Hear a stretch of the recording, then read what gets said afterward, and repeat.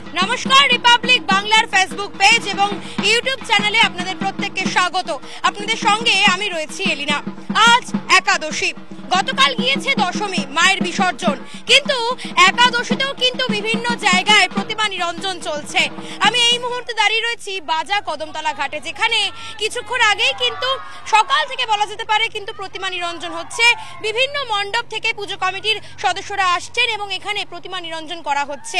বাবুঘাটে কিন্তু গতকাল থেকেই উপচে পড়া ভিড় কারণ প্রতিমা নিরঞ্জন চলছে। আজও কিন্তু সকাল থেকেই, ভোর থেকেই এই বাবুঘাটে অর্থাৎ বাজা কদমতলা ঘাটে কিন্তু প্রতিমা নিরঞ্জন চলছে। আমার ঠিক পেছন দিকেই সারি সারি প্রতিমা নিরঞ্জন হয়েছে কিছুক্ষণ আগেই বিভিন্ন ক্লাব কমিটি থেকে শুরু করে বনিদি বাড়ির পুজো, যে বাড়িতে পুজো হয়, সার্বজনীন দুর্গোৎসব যেখানে যেখানে হয়, সেই সব প্রতিমা কিন্তু এখানে নিরঞ্জন করানো হচ্ছে। গতকাল থেকেই কিন্তু এই বাবুঘাটে কড়া নিরাপত্তার চাদরে মুড়ে ফেলা হয়েছে গোটা এলাকা এবং পুলিশ থেকে শুরু করে সিভিক ভলেন্টিয়ার্স প্রত্যেকেই রয়েছেন উপস্থিত। আজও সকাল থেকেই কিন্তু নিরাপত্তার যে নিরাপত্তার ঘেরা টোপে বাবুঘাটকে পুরোপুরিভাবে মুড়ে ফেলা হয়েছে। প্রত্যেকেই কিন্তু সবসময় কড়া নজরদারি রাখছেন এই বাবুঘাটে এবং বাবুঘাটে আহ, ময়লা আবর্জনা যেসব রয়েছে তা সরানোর জন্য কিন্তু জেসিবি মেশিনও আনা হয়েছে যাতে গঙ্গার জল দূষিত না হয়। সেই সঙ্গে সঙ্গে কিন্তু কাঠামোগুলি কিন্তু বাবুঘাট থেকে কিন্তু তুলে নেওয়া হচ্ছে। এবং শুধুমাত্র তাই নয় আজ সকালেও কিন্তু এই বাজা কদমতলা ঘাটে একটা মর্মান্তিক দেখা গেছে যে ঘটনা। একজন অজ্ঞাত পরিচয় যুবকের দেহ কিন্তু এই বাজা কদমতলা ঘাটে ভেসে উঠ- উঠেছিল।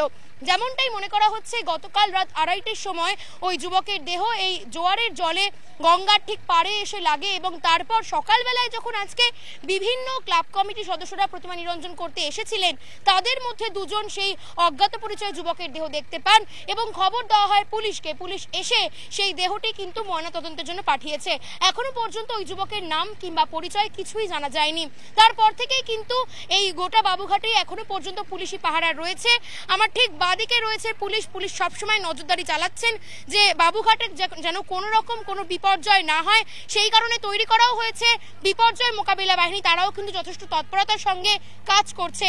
প্রশাসনও কিন্তু যথেষ্ট তৎপর। আজ সকালে কিছুক্ষণ আগে এখানে পরিদর্শন করে গিয়েছেন দেবাশিস কুমার এবং যেমনটাই সূত্রের খবর, কিছুক্ষণের মধ্যে কিন্তু এই বাজা কদমতলা ঘাটে আসতে পারেন ফিরাদ হাকিম। তিনিও কিন্তু গোটা বাবুঘাট পরিদর্শন করবেন যেন কোনো রকম অসুবিধার মধ্যে পড়তে না হয়, কারণ আজ একাদশী একাদশী এবং দ্বাদশী এই দুদিন কিন্তু বাজা কদমতলা ঘাটে বিভিন্ন প্রতিমা কিন্তু নিরঞ্জন হবে। যেসব প্রতিমা এখনও পর্যন্ত নিরঞ্জন হয়নি।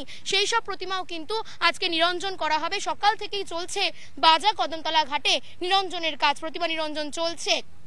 এবং সেই সঙ্গে সঙ্গে জানিয়ে রাখব যে গতকালও কিন্তু এই বিসর্জনের সময় বিভিন্ন জায়গায় আমরা মর্মান্তিক দুর্ঘটনা দেখেছি। মালবাজারে মাল নদীতে বিভিন্ন যে যে দুর্ঘটনা ঘটেছে, কতগুলো মানুষ যে হরপা বানে ভেসে গিয়েছেন সেই মর্মান্তিক দুর্ঘটনার ছবিও কিন্তু আমরা তুলে ধরেছি রিপাবলিক বাংলার পর্দায়। সুতরাং বুঝতেই পারছেন সমস্ত লেটেস্ট নিউজ এবং সেই খবরের লেটেস্ট আপডেট পেতে গেলে আপনাদের নজর রাখতেই হবে রিপাবলিক বাংলার ফেসবুক পেজ এবং ইউটিউব চ্যানেলে অবশ্যই ইউটিউব চ্যানেলে সাবস্ক্রাইব করে রাখবেন এবং তার পাশে থাকা বেল আইকনটি ক্লিক করে দেবেন। কারণ সমস্ত খবর সবার আগে একমাত্র রিপাবলিক বাংলায়